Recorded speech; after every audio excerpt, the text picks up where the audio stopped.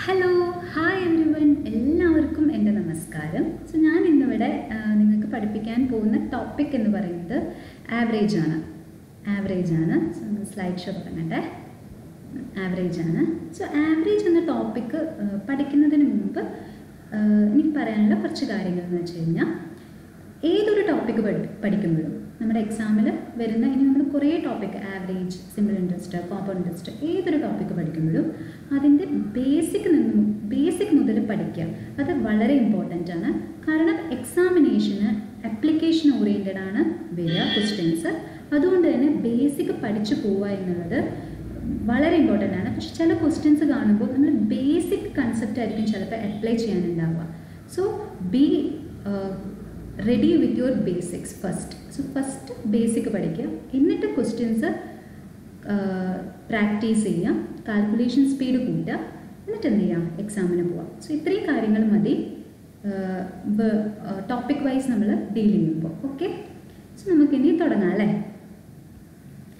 So ഇനി exam പോയിന്റിലേക്ക് വരികയാണെന്നുണ്ടെങ്കിൽ പ്രിലിംസ് ഉണ്ട് മെയിൻസ് ഉണ്ട് പി ഒ ആണെന്നുണ്ടെങ്കിൽ ഇന്റർവ്യൂ സെക്ഷനും കൂടി ഉണ്ടാവും.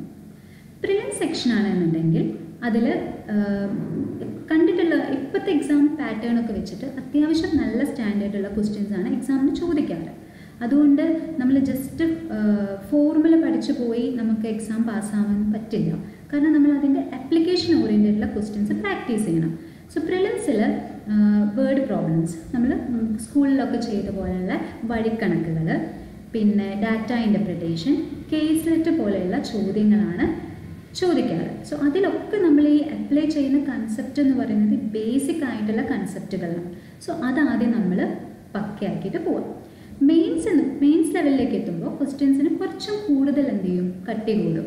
അതുകൊണ്ട് ക്വസ്റ്റ്യൻസ് പക്ക പഠിച്ച് കുറേ പ്രാക്ടീസ് ചെയ്തിട്ട് തന്നെ വേണം എക്സാമിന് പോകാൻ സോ പി ഒ സെക്ഷൻ ആകുമ്പോൾ എക്സ്ട്രാ ഒരു ഇന്റർവ്യൂ ഉണ്ടെന്ന് കൂടിയേ ഉള്ളൂ.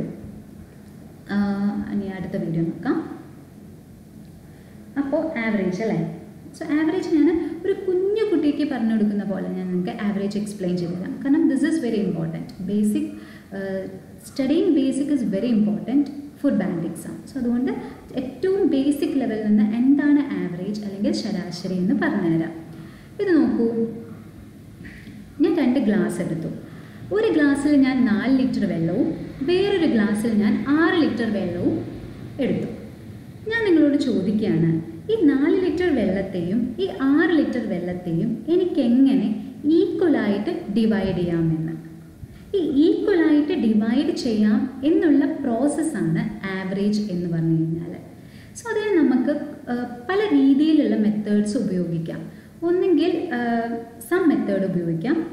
രണ്ടാമത്തെ ഒരു മെത്തേഡ് എന്ന് പറയുന്നത് അസംഷൻ മെത്തേഡാണ് അതായത് നമ്മളൊരു ജസ്റ്റ് നമ്മളൊരു നമ്പർ അങ്ങ് അസ്യൂം ചെയ്തിട്ട് ഉപയോഗിക്കാം. സോ അതിൽ നല്ല സ്പീഡൊക്കെയാണ് നമ്പേഴ്സുമായിട്ട് കളിക്കാൻ ഭയങ്കര സ്പീഡൊക്കെ എത്തിയ ഒരാൾക്ക് അസംഷൻ മെത്തേഡ് വേഗം നമുക്ക് ഉത്തരം തരും. അല്ല എന്നുണ്ടെങ്കിൽ നമ്മൾ ഇരുന്ന് കൂട്ടി ഡിവൈഡ് ചെയ്തിട്ടൊക്കെ ഇരിക്കേണ്ടി വരും. സോ ഈ രണ്ട് മെത്തേഡ് ഇവിടെ എക്സ്പ്ലെയിൻ ചെയ്യും ഇന്ന്. സോ ആവറേജിൽ ഫസ്റ്റ് ഞാൻ സം മെത്തേഡ് ഉപയോഗിക്കാം. സോ സം മെത്തേഡ് എന്ന് പറയുമ്പോൾ നമ്മൾ എന്ത് ചെയ്യുമെന്ന് വെച്ച് കഴിഞ്ഞാൽ ഈ നാല് ലിറ്റർ വെള്ളവും ഈ ആറ് ലിറ്റർ വെള്ളം കൂടി എന്ത് ചെയ്യും? കൂട്ടും. എന്നിട്ട് എന്ത് ചെയ്യും? രണ്ടിലേക്കും ഈക്വലായിട്ട് ഡിവൈഡ് ചെയ്യും. സോ ഈ ഈക്വലായിട്ട് ഡിവൈഡ് ചെയ്യുന്ന സംഭവമാണല്ലോ ശരാശരി എന്ന് പറയുന്നത്. അപ്പോൾ ഓരോന്നിനും സോ ഇവിടുത്തെ നാല് പ്ലസ് ആറ് ഡിവൈഡഡ് ബൈ രണ്ട്. സോ അതെന്ന് പറഞ്ഞു കഴിഞ്ഞാൽ ഓരോ ഗ്ലാസ്സിലും എത്ര ലിറ്റർ വെള്ളം ഉണ്ടായിരിക്കും? അഞ്ച് ലിറ്റർ അഞ്ച് ലിറ്റർ അതായത് ആവറേജ് എന്ന് പറഞ്ഞാൽ നമ്മൾ ഈക്വലായിട്ട് പത്ത് ലിറ്റർ വെള്ളത്തെ ഈക്വലായിട്ട് ഓരോ ഗ്ലാസ്സിനും ഡിവൈഡ് ചെയ്ത് കൊടുത്തു. ഓക്കെ ഇത് നമ്മുടെ സം മെത്തേഡാണ് ഇനി നമുക്ക് എന്ത് ചെയ്യാം?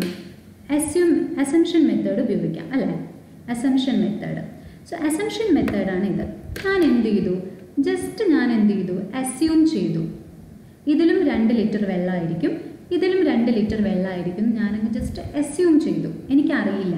ഞാൻ ഇതിൽ ആദ്യം രണ്ട് ലിറ്റർ വെള്ളം ഒഴിച്ചു. ഈ ഗ്ലാസ്സിലും ഞാൻ ആദ്യം എന്ത് ചെയ്തു? രണ്ട് ലിറ്റർ വെള്ളം ഒഴിച്ചു.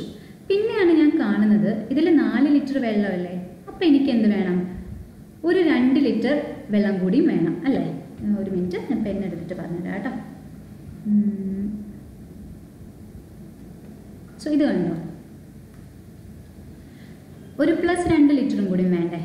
ആ ഇവിടെ ഒരു പ്ലസ് നാല് ലിറ്ററും കൂടി വേണമല്ലോ വേണ്ടേ? അപ്പോൾ ഞാൻ എന്ത് ചെയ്തു? എനിക്കിവിടെ അസ്യൂം ചെയ്ത ആവറേജ് എന്ന് പറയുന്നത് രണ്ടാണ്. പക്ഷെ എനിക്കിവിടെ രണ്ട് ലിറ്ററും വേണം. ഇവിടെ ഒരു നാല് ലിറ്റർ വെള്ളം കൂടി വേണം അല്ലേ? അപ്പം ഞാൻ എന്ത് ചെയ്തു? അപ്പം എനിക്ക് ഇനി ടോട്ടൽ ആറ് ലിറ്റർ വെള്ളം കൂടി ഇതിൽ രണ്ടിലേക്കും കൊടുക്കണം. ആവറേജ് എന്ന് പറഞ്ഞു കഴിഞ്ഞാൽ ഞാൻ നിങ്ങളോട് എല്ലാവരോടും പറഞ്ഞു ഈക്വൽ ആയിട്ട് ഷെയർ ചെയ്യുക എന്നുള്ളതാണ്. സോ നമ്മൾ അസ്യൂം ചെയ്ത ആവറേജ് എന്ന് പറയുന്നത് രണ്ടാണ്. സോ നമ്മൾ ഈ ആറ് രണ്ടിന്റെ കൂടെ നമ്മൾ എന്ത് ചെയ്തു? ഈ ആറ് ലിറ്റർ വെള്ളത്തെയും കൂടി രണ്ടെണ്ണത്തിലേക്ക് ഷെയർ ചെയ്തു. സോ ആറ് ബൈ രണ്ട്. ദാറ്റ് ഈസ് ഈക്വൽ ടു അഞ്ച്. സോ നമുക്ക് ആവറേജ് കാണാൻ വേണ്ടിയിട്ട് രണ്ട് മെത്തേഡ് ഉപയോഗിക്കാം. ഒന്നെന്ന് പറയുന്നത് സം മെത്തേഡും ഒന്നെന്ന് പറയുന്നത് അസംഷൻ മെത്തേഡും ഓക്കെ അപ്പോൾ ഇനി നമുക്ക് അടുത്ത ക്വസ്റ്റ്യൻ അടുത്ത സ്ലൈഡിലേക്ക് പോകാം അല്ലേ? അപ്പോൾ ഇവിടെ ഇവിടെ ഞാൻ find the average of so first ഞാൻ അസംഷൻ മെത്തേഡ് പറയാം അല്ലേ? അസംഷൻ മെത്തേഡ് പറയാം. അതായിരിക്കുമ്പോൾ കുറച്ചും കൂടി നിങ്ങൾക്ക് മനസ്സിലാവും.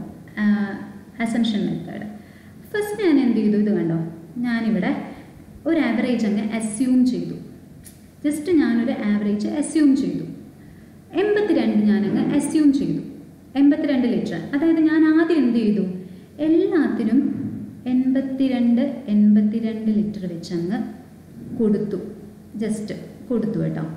എൺപത്തിരണ്ട് എൺപത്തിരണ്ട് ലിറ്റർ വെച്ചങ്ങ് കൊടുത്തു. എൺപത്തിരണ്ട് എൺപത്തിരണ്ട് എൺപത്തിരണ്ട് എൺപത്തിരണ്ട് എൺപത്തിരണ്ട് കൊടുത്തു. ഇനി ഞാൻ നോക്കി നോക്കിയപ്പോൾ എനിക്ക് മനസ്സിലായി. ഇവിടെ എൺപത്തിരണ്ട്. ഓക്കെ ആണ് അല്ലേ? പക്ഷേ ഇവിടെ ഒരു പ്ലസ് അഞ്ച് ലിറ്ററും കൂടി ആവശ്യമുണ്ട്. നോക്കൂ. ഇവിടെ ഒരു പ്ലസ് അഞ്ച് ലിറ്ററും കൂടി ആവശ്യമുണ്ട് അല്ലേ?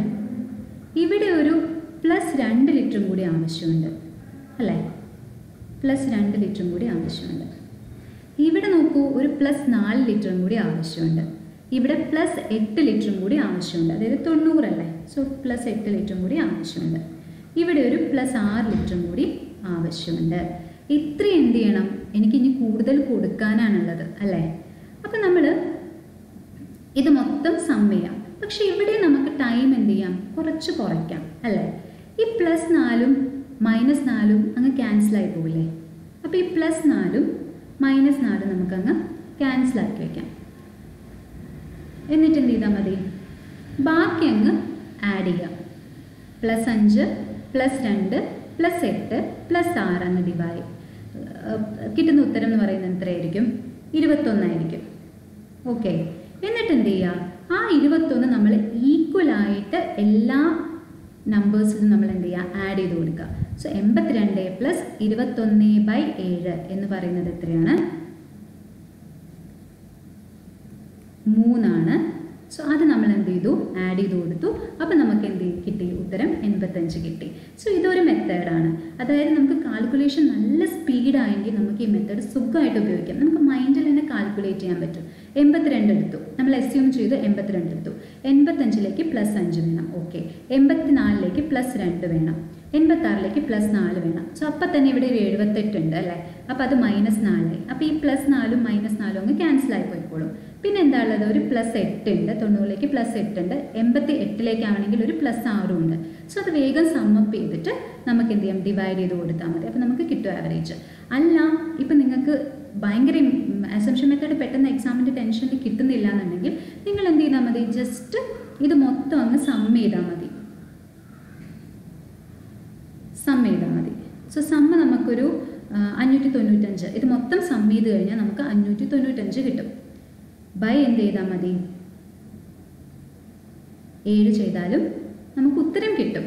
പക്ഷേ ബാങ്ക് എക്സാം എന്ന് പറയുന്നത് എന്താണ്? സ്പീഡ് മാറ്റേഴ്സ് ആണ്. സോ ഏറ്റവും സ്പീഡിൽ നിങ്ങൾക്ക് ഏത് ചെയ്യാൻ പറ്റും ആ മെത്തേഡ് നിങ്ങൾ അഡോപ്റ്റ് ചെയ്യുക അപ്പം നിങ്ങൾ ഓരോ ആൾക്കാർക്കും ഡിപ്പെൻഡ് ആണ്. ചിലർക്ക് അസംഷൻ മെത്തേഡിനേക്കാളും കൂടുതൽ കൂട്ടാനുള്ള കഴിവുണ്ടായിരിക്കും. സോ അപ്പോൾ അവർ ആ മെത്തേഡ് ഉപയോഗിക്കുക. സോ നമ്മളുടെ കംഫർട്ട് സോൺ ഏതാണ് നോക്കുക? അതായത് കംഫർട്ട് സോൺ എന്ന് പറഞ്ഞു കഴിഞ്ഞാൽ കാൽക്കുലേഷൻ സ്പീഡും നമുക്കത് ആ പോയിന്റിലേക്ക് ആ ഫോക്കസ് നമ്മുടെ എയിമിലേക്ക് അച്ചീവ് ചെയ്യാൻ പറ്റുന്ന ഹെൽപ്ഫുൾ ഏറ്റവും കൂടുതൽ ഏതാണ്?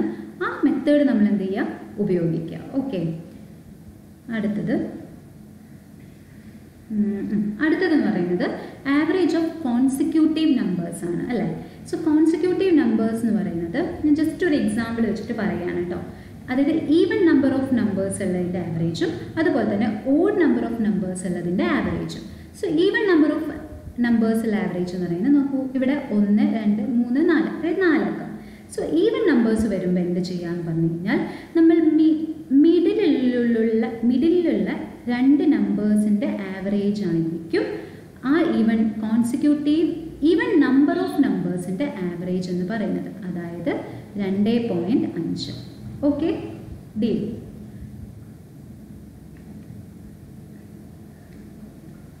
ഓക്കെ അല്ലെങ്കിൽ വേറൊരു വഴി എന്ന് പറയുന്നത് നമ്മുടെ ഫസ്റ്റ് നമ്പറും പ്ലസ് ലാസ്റ്റ് നമ്പറും ഡിവൈഡഡ് ബൈ രണ്ട് എന്ന് ചെയ്താലും മതി. അതായത് ഒന്ന് പ്ലസ് നാല് ഡിവൈഡഡ് ബൈ രണ്ട് ചെയ്താലും നമുക്ക് ഉത്തരം കിട്ടും.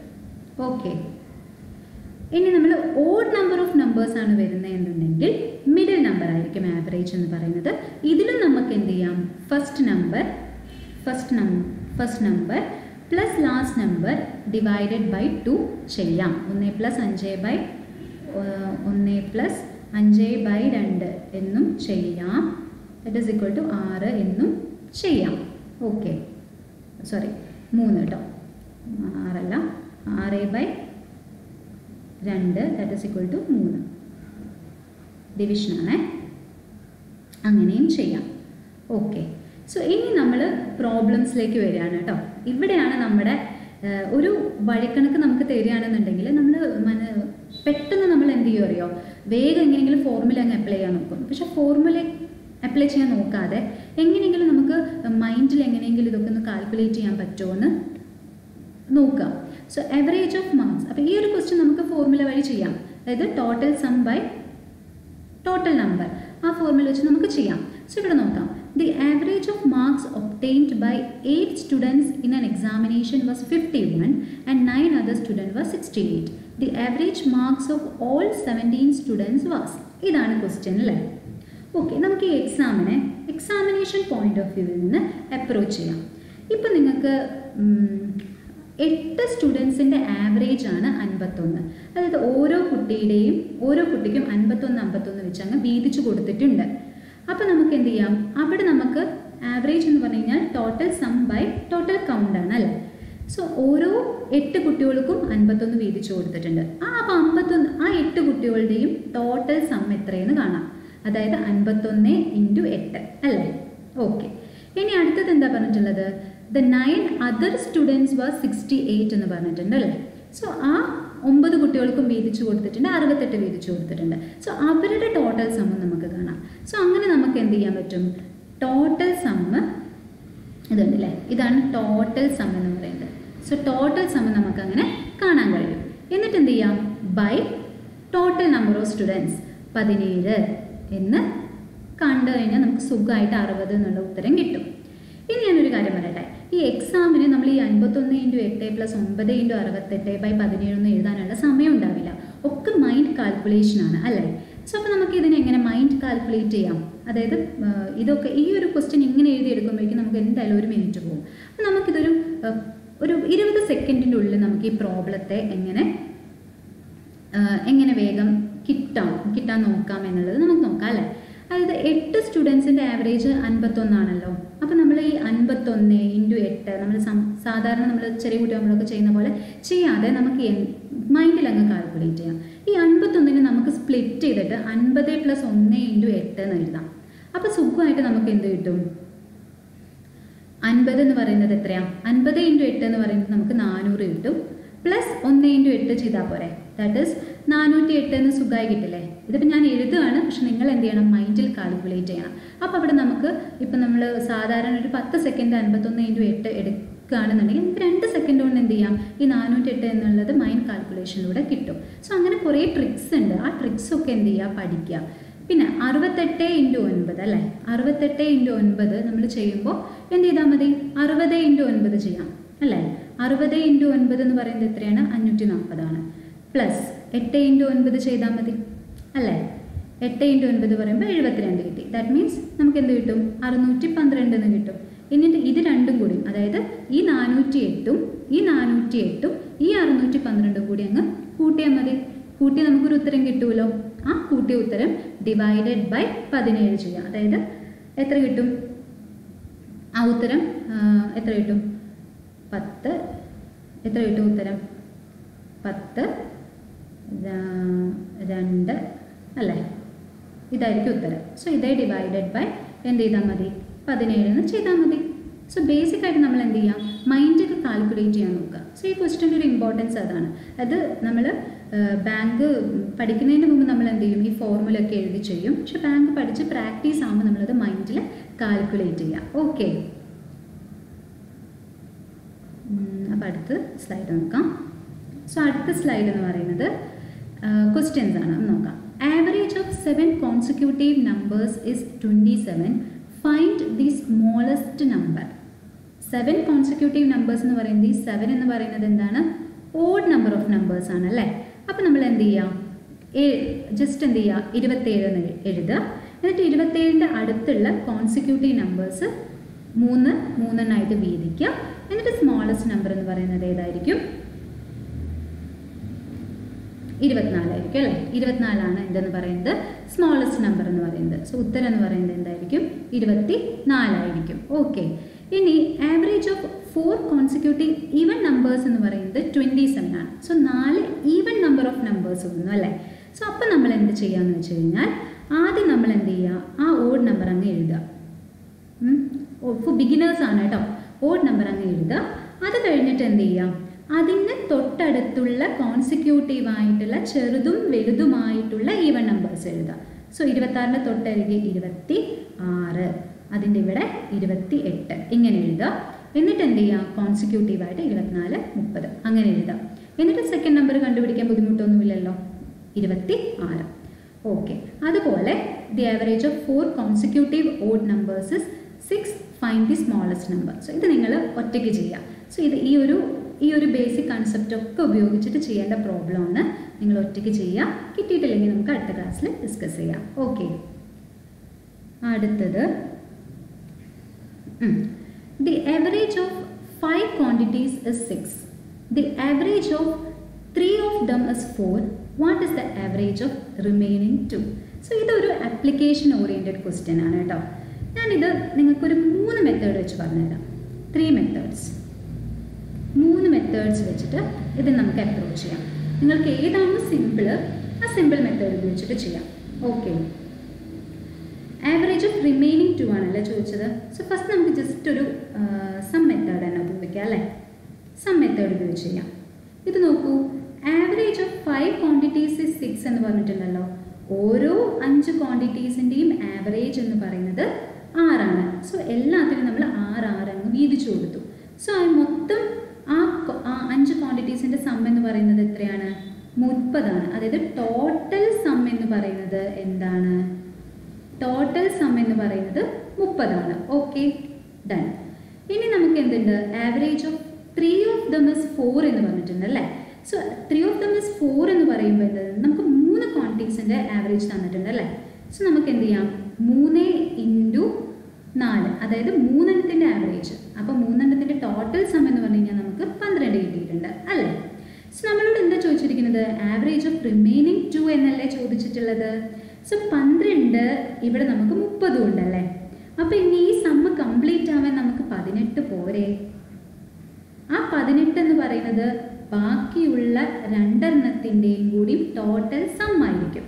പക്ഷെ നമ്മളോട് ചോദിച്ചിരിക്കുന്നത് എന്താണ്? ആവറേജ് ആണ് ചോദിച്ചിരിക്കുന്നത് അല്ലേ? സോ ബൈ ടൂയും കൂടിയും കൊടുക്കുക. സോ ആവറേജ് എന്ന് പറയുന്നത് എന്തായിരിക്കും? ഒൻപതായിരിക്കും സോ ഇതൊരു മെത്തേഡാണ് കേട്ടോ ഇനി ഞാൻ നിങ്ങൾക്ക് വേറൊരു മെത്തേഡ് പറഞ്ഞുതരാം. വേറൊരു മെത്തേഡ് മിനിറ്റ് ഇത് ഒരു മെത്തേഡ് സം മെത്തേഡ് എന്ന് പറയും. സം മെത്തേഡ് ഇനി ഞാൻ നിങ്ങൾക്ക് വേറൊരു മെത്തേഡ് പറഞ്ഞുതരാം. ഒരു മിനിറ്റ് കേട്ടോ സം മെത്തേഡ് എടുക്കട്ടെ ഇനി വേറൊരു മെത്തേഡ് സോ വേറൊരു മെത്തേഡ് എന്ന് പറഞ്ഞു കഴിഞ്ഞാൽ മൊത്തം അഞ്ച് ക്വാണ്ടിറ്റീസ് ആണ് അല്ലേ? അപ്പോൾ ഞാൻ ഒന്നാം ആദ്യത്തെ ക്വാണ്ടിറ്റി രണ്ടാമത്തെ ക്വാണ്ടിറ്റി മൂന്നാമത്തെ ക്വാണ്ടിറ്റി നാലാമത്തെ ക്വാണ്ടിറ്റി അഞ്ചാമത്തെ ക്വാണ്ടിറ്റി എന്നിട്ട് ഓക്കെ ഞാൻ ബേസിക് പഠിക്കാൻ ബേസിക് പഠിക്കണം എന്ന് പറയാനുള്ള കാരണം ഇതും കൂടിയാണ്. സോ ഈ ഒരു കൺസെപ്റ്റ് ഒക്കെ നമ്മൾ ഹൈ ലെവൽ ക്വസ്റ്റ്യൻസിൽ അപ്ലൈ ചെയ്യും സോ എന്റെ അതിൽ പറഞ്ഞിട്ടുള്ളത്? Average of three of them is four ആണല്ലേ സോ നമുക്ക് just average of three of them four നാല് വീതിച്ചു കൊടുത്തു. നമുക്ക് എന്താ അറിയേണ്ടത് നമുക്ക് ഈ രണ്ടിന്റെ ആവറേജ് ആണ് നമുക്ക് അറിയേണ്ടത് അല്ലേ നമുക്കറിയാം ഇതിന്റെ ടോട്ടൽ അഞ്ച് ക്വാണ്ടിറ്റീസിന്റെ ആവറേജ് എന്ന് പറയുന്നത് ആറാണെന്ന് അറിയാം അല്ലേ? അല്ലേ? അപ്പോൾ നമ്മൾ എന്ത് ചെയ്തു ഇവിടെ എന്ത് ചെയ്യണം? ഇവിടെ ഇപ്പോൾ ഇവർ ഇവർക്ക് എന്ത് ചെയ്യുന്നുണ്ട് പ്ലസ് രണ്ടും പ്ലസ് രണ്ടും പ്ലസ് രണ്ട് ആവശ്യമുണ്ടല്ലേ ഇവിടെ നമുക്ക് എന്ത് ചെയ്യാം? ആറ് എന്നുള്ളത് ആദ്യം തന്നെ ഇട്ട് കൊടുക്കാം. ഓക്കെ ആറ് എന്നുള്ളത് ആദ്യം തന്നെ ഇട്ട് കൊടുക്കാം. ജസ്റ്റ് നമുക്ക് എളുപ്പ വഴിക്ക് നമ്മൾ എന്ത് ചെയ്തു? ആറ് എന്നുള്ളത് ആദ്യം തന്നെ ഇട്ട് കൊടുത്തു. പിന്നെ ബാക്കി എത്ര സമ്മ് വേണം? പ്ലസ് ആറും കൂടിയും വേണം. ദറ്റ് മീൻസ് ടോട്ടൽ ആറും കൂടി ഇനി വേണം. അപ്പോൾ ആവറേജ് എന്ന് പറഞ്ഞു കഴിഞ്ഞാൽ ഈക്വൽ ഡിവിഷൻ ആണല്ലേ? സോ ആ ആറ് നമുക്ക് എന്ത് ചെയ്യാം? ഇത് രണ്ടിലേക്കും ഈക്വൽ ആയിട്ട് ഡിവൈഡ് ചെയ്യാം. സോ അതായത് എത്ര ഡിവൈഡ് ചെയ്യാം? ആറ് ഡിവൈഡഡ് ബൈ രണ്ട്. അതായത് ഇത് രണ്ടിലേക്കും നമുക്ക് എന്ത് ചെയ്യാം ഈക്വൽ ആയിട്ട് ഡിവൈഡ് ചെയ്യാം. സോ ആറ് ഇസ്ക്വൽ ടു മൂന്ന്. സോ ഓരോന്നിലും നമുക്ക് എന്ത് ചെയ്യാം മൂന്ന് പ്ലസ് മൂന്ന് ചെയ്യാം. സോ ദാറ്റ് മീൻസ് ഇതിന്റെ ആവറേജ് എന്ന് പറയുന്നത് നമുക്ക് എന്ത് കിട്ടും? ഒൻപത് എന്ന് കിട്ടും. സോ ഇതൊരു മെത്തേഡാണ് ഇതാണ് സം മെത്തേഡ് എന്ന് പറയുന്നത്. പതിനെട്ട് ബൈ രണ്ട് ഇസിക്വൽ ടു ഒൻപത്. സോ രണ്ട് തരം മെത്തേഡുകളാണ് നമ്മൾ എന്ത് ചെയ്യുന്നത് യൂസ് ചെയ്യുന്നത്. ഓക്കെ ഇനി വേറൊരു മെത്തേഡ് എന്ന് പറഞ്ഞു കഴിഞ്ഞാൽ ഇതിന്റെ ഈ ഒരു മെത്തേഡിന്റെ ബേസിക് മെത്തേഡ് തന്നെയാണ് എങ്കിലും ഞാൻ പറയാം. അതായത് നമുക്ക് എന്താ ഇങ്ങനെ ഇട്ടിട്ട് ചെയ്യാം. അതായത് മൂന്ന് ക്വാണ്ടിറ്റീസിന്റെ ആവറേജ് നാലാണ്. രണ്ട് ക്വാണ്ടിറ്റീസിന്റെ ആവറേജ് എന്ന് പറയുന്നത് അറിയില്ല. ടോട്ടൽ ക്വാണ്ടിറ്റീസിന്റെ ആവറേജ് എന്ന് പറയുന്നത് ആറാണ്. അപ്പം നമ്മൾ എന്ത് ചെയ്താൽ മതി? ഇങ്ങനെ ഇട്ട് നിങ്ങളിങ്ങനെ ഇത് ചെയ്യുന്നതിന് പകരം നിങ്ങൾ എന്ത് ചെയ്യാം? ഇങ്ങനെ ഇട്ടിട്ട് ചെയ്യാം. അപ്പോൾ കുറച്ചും കൂടി നമ്മൾ ഈ ഒന്ന് രണ്ട് മൂന്ന് ഇങ്ങനെ ഇങ്ങനെ എഴുതേണ്ട ആവശ്യമില്ല. ഡയറക്റ്റ് ആയിട്ട് നമുക്ക് എന്ത് ചെയ്യാം? ഇങ്ങനെ ഇട്ട് ചെയ്ത് കഴിഞ്ഞാൽ ഈ ഒരു മെത്തേഡിന്റെ ആപ്ലിക്കേഷൻ മെത്തേഡ് നമ്മൾ എന്ത് ചെയ്യാം അതായത് ഇവിടെ നമ്മൾ എന്ത് ചെയ്തു? ആറിന് ആദ്യം കൊടുത്തു. പ്ലസ് എന്ത് ചെയ്തു?